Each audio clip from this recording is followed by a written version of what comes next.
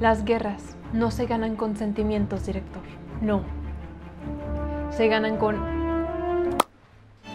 ¿Magia?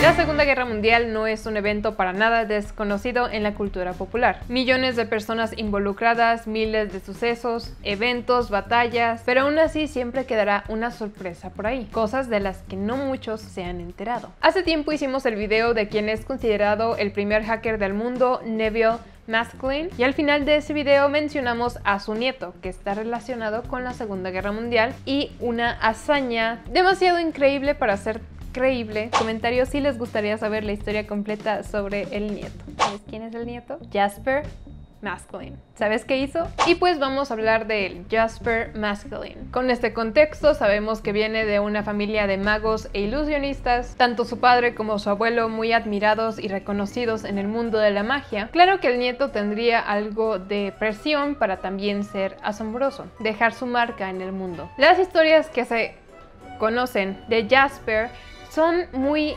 grandes, empezando aproximadamente en 1941 cuando se enlista en el ejército, pero no tanto para el campo de batalla, sino para otorgar sus conocimientos, básicamente utilizando sus trucos y magia para distraer y ocultarse del enemigo, aclarando que Jasper, pues, es británico, pertenecía al grupo de los aliados, como nota cultural. Se dice que Jasper logró juntar un equipo de otros soldados que realmente no eran tan soldados, sino simples personas que se dedicaban a otras cosas, como carpinteros, pintores o electricistas, para formar lo que llamaríamos Magic Gang, el equipo de la magia. Y con algunos simples trucos se dice que su primer éxito fue camuflajear 200 carros de combate. Esto en el desierto y según cuenta la leyenda, como no había pintura, utilizaron una salsa cuyo nombre no puedo pronunciar y estiércol de camello. Algo muy raro, pero según la leyenda, funcionó. El enemigo desde las alturas no podría ver los carros de batalla, simplemente También se dice que Jasper logró ocultar el puerto de Alejandría, uno de los importantes para los británicos ya que tenían suministros importantes. El problema es que al ser tan importante este puerto, claro que el enemigo venía a atacarlo. Y tal vez no podrían ocultar a la ciudad, pero ¿qué tal moverla de sitio? ¿Y cuál fue la supuesta solución de Jasper a este problema? Construir una nueva ciudad cerca de la ciudad verdadera, creando la ilusión de esta ciudad con faros, edificios, carros, puestos de defensa, personas, que se construyeron con materiales que no tenemos claros cuáles fueron. O también no tenemos claro cómo es que lograron construir toda esa ciudad y en cuánto tiempo. Digo, conocemos producciones de Hollywood que pueden construir ciudades o calles enteras, pero les toma semanas y muchos recursos y mucho dinero. Hablando de los años 40, es difícil ver cómo podría suceder algo similar. Claro que no hay tanta atención al detalle ya que se vería desde lejos, no de cerca para decir esa ventana es falsa. Cuando llegó el momento de ser atacados, la ciudad de Alejandría se apagaría totalmente cubriéndose en la oscuridad, llegarían los aviones enemigos y a pesar de que sus radares les dijera que la ciudad estaba por allá, no la veían por allá, sino que estaba por acullá. Y atacarían a la falsa ciudad, protegiendo realmente al puerto real. Y otro de los trucos de Jasper fue defender el canal de Suez, por el que tenían que pasar los barcos británicos.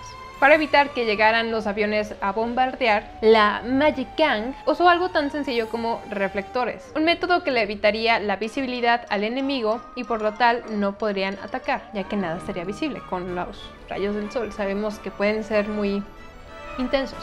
Y la tercer gran hazaña que cuenta la leyenda de Jasper Masculine es crear una ilusión de un ejército. Algo parecido a construir la ciudad de Alejandría, pero esta vez en una escala más pequeña y solamente con soldados, tanques, suministros, un ejército. Esto con el fin de que las tropas enemigas pudieran movilizarse en una dirección concreta. El pensar que ellos se encuentran en el sur para que las tropas vayan al sur, pero en realidad tú ya estás al norte te chingue. Y se dice que al final de la Segunda Guerra Mundial el equipo de la Magic Gang se disolvió y una de las excusas por la cual no se habló mucho de este suceso y los logros de Jasper Masklin es que esto le podría dar ideas al enemigo. Cualquiera podría comenzar planes para defenderse de estas ilusiones y trucos o incluso usarlos, darles una cucharada de su propia medicina. Ahora, ¿cuál es el problema de toda esta historia? Por una parte se dice que los archivos clasificados de esta misión no estarían disponibles hasta 2000 2043, porque al momento siguen siendo documentos clasificados. Jasper murió en 1973, pero años atrás él escribió su autobiografía donde declaró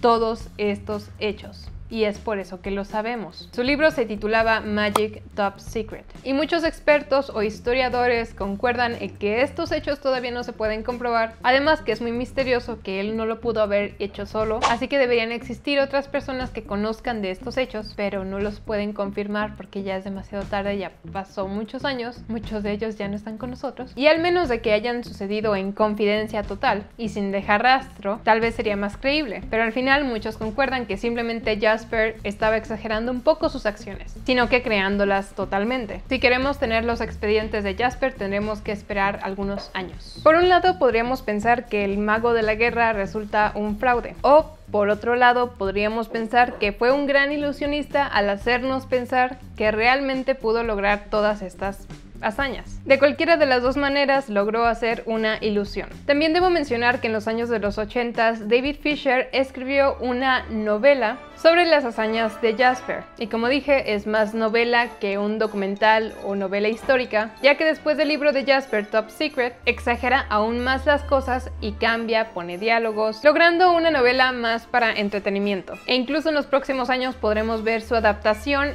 a una película, basándose en este último libro. Y se dice que el posible protagonista será Benedict Cumberbatch. Para conocer la película tendremos que esperar, y para conocer la verdad tendremos que esperar aún más. Comenta lo que opinas de esta historia, si te gustó, si quieres más de este tipo, sugerencias de quién quieres que hablemos, y nos vemos en un próximo video con algún otro tema simple.